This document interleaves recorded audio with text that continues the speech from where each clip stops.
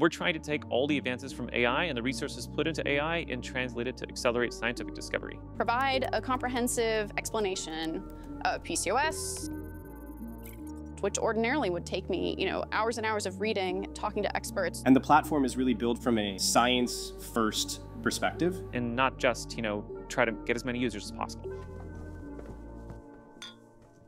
Hi, I'm Michaela. I lead the science team here at FutureHouse. For the last 10 years, I've been really curious about trying to understand the molecular mechanisms that govern gene regulation in human cells. I'm Mike. I lead the platform team here at FutureHouse. I started my career out with a PhD in computational material science. But for the last 10 years, I've been working on uh, machine learning and AI teams. Hi, I'm Andrew. I'm co-founder and head of science at FutureHouse. When we co-founded FutureHouse, we noticed that a lot of the, the productivity in science has been decreasing. So there's more papers published every year, there's fewer breakthroughs. Artificial intelligence methods have gotten to the point where they can actually accelerate science. And so at FutureHouse, we're trying to build um, pieces towards something we call an AI scientist, which basically means automating the different components of science, such as searching literature, generating hypotheses, and doing analysis. We're going to be sharing some examples of how our platform can help scientists make more discoveries. Today, we're releasing FutureHouse Platform, and it'll have four new agents on it. The first agent is called Crow. It's an agent that's sort of perfect for concise answers to literature search questions or questions that might need to use data sources like open targets. The second agent that I'll be releasing is called Falcon. This one's more of a deep search tool, so it considers more sources and it gives you a report long form answer. The third we'll be launching is called OWL. Um, it's similar to a product that we, we used to have called Has Anyone. It focuses on doing a precedent search. So if you're curious if something has ever been done in science, it's really good at having high recall and looking in the past for the nuances of what's been done. And the fourth one we're launching is called Phoenix. And Phoenix is a it's a chemistry agent, so it's a little bit more bespoken than the others. And it focuses on things like synthesis tasks or cheminformatics questions that you might have. So today we're going to take a look at what these four agents are able to do. So Michaela, why don't you share with us the example? My friend was recently complaining to me that she has PCOS and she's really struggling to find a, a good treatment that's non-hormonal. I have a background in human genetics and human gene regulation, but not in PCOS. So I thought this was a great opportunity to see if I could use our tools to come up what a new treatment could be. My goal is to use these agents to go from zero knowledge to a clear testable hypothesis or even to a new discovery. First, I go to Falcon, which is our deep search agent, and I ask a general question. So provide a comprehensive explanation uh, PCOS, including its definition, symptoms, diagnostic criteria, and underlying causes. After Michaela submits this, you're going to see this load for a moment, and then once the agent actually starts working on it, one of the best parts of our platform is that you can actually observe the reasoning while the agent's do it. There's these different sort of phases that the agent goes through to get its answer. If we start out here, you can see the agent gets some context about what the question is, and the first choice that it makes is to do a paper search. And you can see it created its own search uh, term here. This is all sort of automatic and determined by the agent itself. And you can see this sort of rich metadata that comes back from this search. Unlike mainstream agents, our agents have access to full text scientific articles. They're aware of citation counts, they're aware of citation graphs, they're aware of provenance of the journals that the information comes from. So you can see like the quality of information, and that's all part of the inference process for these agents, just like a scientist would do if they were reading actual journal articles. And then if we go to the next step, we can see we pulled 19 papers in that first step.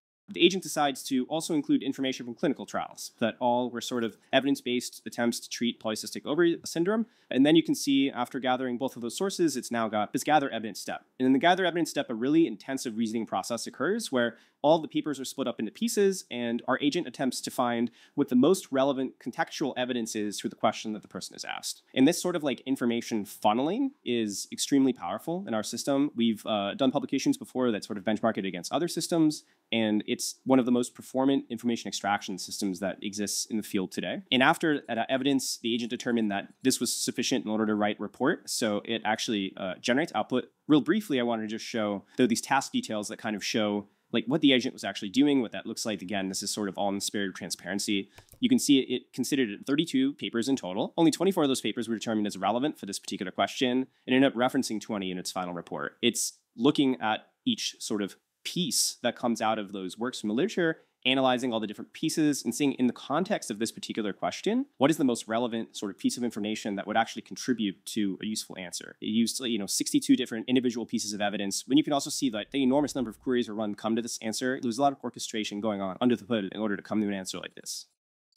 If we go to the output of all of this literature gathering, what we can see is we get a really nice comprehensive overview of PCOS, of the causes of the disease, clinical features of the disease, the diagnostic criteria, et cetera. And one of the things that stand out to me here is that it's strongly genetically associated. So I say, okay, let's take that one step deeper. And so I go to Crow, which is our concise search agent, and ask a more specific follow-up question. What are key genes and genetic loci that have been consistently identified in genome-wide association studies, which is a way that we can statistically link genetic variants to traits such as PCOS? And it says there are multiple genes that are statistically associated with having PCOS, which is something that would take me a long time to figure out on my own, whether these genes had come up in multiple studies. But we don't know if they are functionally related in any way to the actual symptoms. What I can then do is I can go to OWL, which is our precedent search to ask if anyone has done a CRISPR screen to functionally link these GWAS hits to hyperandrogenism in PCOS which shows me that yes, there has been a functional genomic study done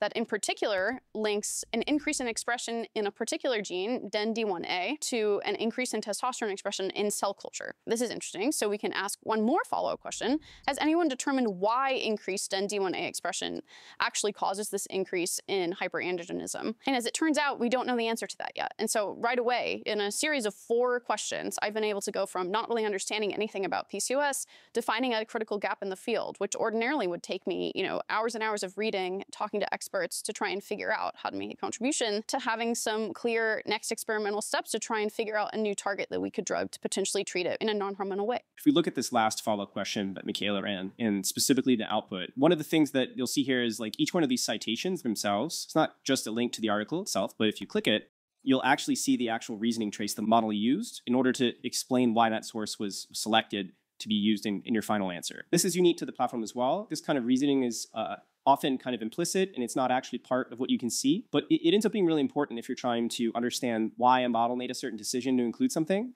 the scale element of it is important especially for scientists because you know most researchers who have a, like a deep domain experience in say biology or drug design they're not going to be engineers so things like uh, scraping peepers things like um, you know setting up distributed databases things like rate limiting are tasks that are out of their domain. So, you know, developing platform is a way for us to give access to researchers like these different tools and kind of take that infrastructure, you know, out of their hands. We built this platform as a way to actually make new discoveries. This demo shows us how we can get from you know very little knowledge of a topic all the way up to the frontier, and also identify what are the gaps. Right, like uh, we found out that we don't know functionally why DENND1 uh, is actually affecting this disease. To make a scientific discovery, we have to come up with a therapeutic, a drug that could actually maybe affect the outcome of this disease. One of the things that's really interesting about uh, LLMs is that they're really bad at chemistry. If you give them a molecule and you ask them to like you know how many nitrogens are in this molecule, they, they can't count them. So as compared with like literature search, literature search is sort of the native space of LLMs, right? Like reading and summarizing, synthesizing knowledge, that's that's their their home turf. When it comes to chemistry, we actually have to add a lot more tools because they can't do things that are just pretty basic. Instead of calculating like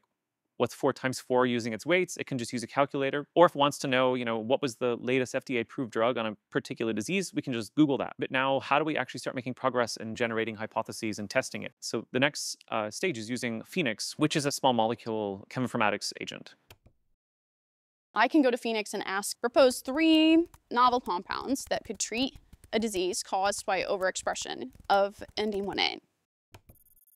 In this example, um, we want to basically start you know, a drug discovery campaign. And to start drug discovery, you have to really start with a, what's called a hit, and then you need to sort of develop it. So you start with a molecule that maybe binds to your protein. You want to like make it a little more soluble. You want to make sure it's not patented. You want to make sure it doesn't go into the liver or the kidneys, things like that. So we have some tools for all these different steps. So in this example, we start by saying, are there known binders to that protein? So the first thing it does is it uses a tool to find known binders against this gene. And in fact, there's no known binders for this gene. This gene is actually not well studied. So I think this gives us a clue there could be something novel here. And what we see is a few different um, small molecules that are known to bind with things that this protein interacts with. One of the things we want to do is make sure that this compound is, is novel, and that is sort of what allows you to invest the capital to continue on a drug discovery campaign. And again, this is something like LLMs don't have memorized every single patented compound, so we have to use a tool for this. And it finds that some of them are not novel, so what it tries to do is do some modifications to see like if we do some small changes to it, can we get it to a space of, of novelty? And also, is it into a space where we can actually modify the molecule? Because downstream in drug discovery might need to make it more soluble. We might find out that like the dosing is not right and we need to change it to like a prodrug or something. So a lot of these tools are basically evaluating how much of a lead that this could be. And so if we go sort of down to the bottom, the agent really does a good job of to look at things like, is it FDA approved already? Is it patented? What's its solubility? What are the function groups that are present in it? And then at the end, it sort of gives a report about these different candidate molecules and what they are known to bind with, why they might be relevant for uh, modulating DENND1A expression, sort of is the starting point uh, for going forward. So maybe from here, we could actually make these compounds. And then, you know, as the next step, we can basically test these molecules in a cell-based assay in, in our lab here. The only way to have an authentic discovery is if it's validated in the wet lab. And that will get us down this path of, you know, the hypothesis generation, observing the output, and then updating our world model of how we can actually intervene in this disease. Most scientists are going to have their own workflows, and obviously UI is great, but it's not going to work in an automated fashion. So we give access to uh, an API interface so scientists can actually build the outputs of our tools into their own workflows. And for us, that's a really important piece of this because you can't actually scale any of this up if you don't have an API interface. Unlike a lot of other platforms and companies working in this area, we're scientists. And from that, we want to make everything open source. We want to publish what we are finding, and we want to share with the community so people can build off of this and, and not just, you know, try to get as many users as possible. So we put all that out there and we're really excited for people to use our open source methods. And we hope that people come up with better ideas because at the end of the day, we want to make discoveries and we don't want to just make the best agent. We want to really push science forward. The next stage for FutureHouse is to sort of expand the scope and what we can do with this platform. We have agents now that are very good at like analyzing information in the, in the literature and generating new ideas from the literature, but not so much from raw data, especially raw data that's generated from your own experiments. So I think something to look out for the future are agents that are uh, capable of not only doing literature search, but also capable of taking in new information or lab data and coming up with conclusions that you would normally need to do in, in an analysis step. Within the next couple of years, I think most discoveries in science are going to have an AI driven component behind them. Maybe it's doing initial literature search, maybe it's helping with the analysis in some way, but it's going to be ubiquitous, and I'm really excited about that.